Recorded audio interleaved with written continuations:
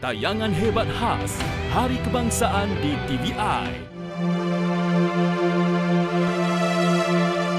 Dalam telefilm Album Usang, Kamis 31 Ogos 2 petang.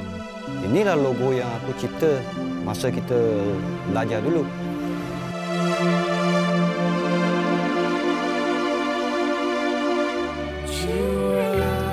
Negaraku sehati sejiwa.